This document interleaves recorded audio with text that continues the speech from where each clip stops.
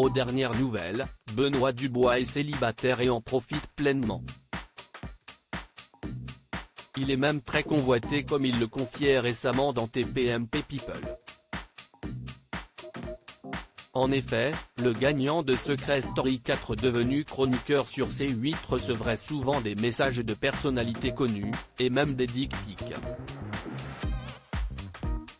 Il y a des gens des médias qui m'envoient leurs dick pics, leurs photos de parties intimes, de zizi, avait-il lâché sur le plateau de l'émission présentée par Mathieu Delormeau. Et de détailler, des animateurs, des gens dans la politique et je leur dis, heureusement que je suis cortiqué parce que je pourrais balancer la sauce. Alors je pense que ça pourrait m'abîmer moi aussi dans ma carrière de divulguer ces photos. Des gros animateurs, il y en a. Il parle un peu, j'aime bien ce que tu fais dans tes PMP People, machin, machin et voici ma tub, est-ce que tu passerais pas à la maison? Des confidences qui en ont étonné plus d'un. Mais si cela prête à rire, Benoît Dubois ne verrait bien sûr aucun futur avec les personnes qui le sollicitent pour des aventures car l'ex-candidat de télé-réalité est plus que prêt pour se poser sérieusement. Il songe même à avoir des enfants.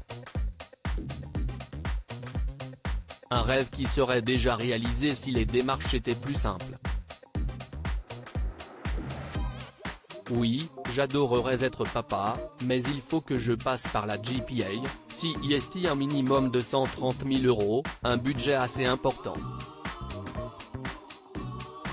A-t-il regretté lors d'une interview pour Télé Loisirs?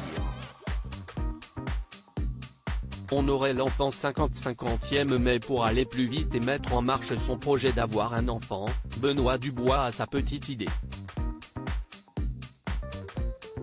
En effet, auprès de nos confrères, il a avoué avoir partagé son envie de faire un bébé. Avec l'une de ses partenaires de jeu dans Les Mystères de l'amour, série pour laquelle il interprète le rôle de Victor Sanchez depuis 2019.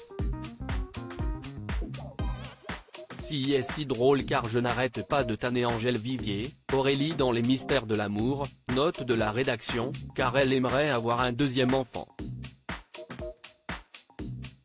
Avec son conjoint, ils doivent en discuter. Et elle m'a dit que si le temps courait trop après son deuxième enfant eh bien on ferait un enfant ensemble, elle serait ma mère porteuse et on aurait l'enfant 50-50e, et on aurait tous les deux ce que l'on veut. En plus, il sera beau parce qu'elle est très belle, a-t-il déclaré. Affaire à suivre donc.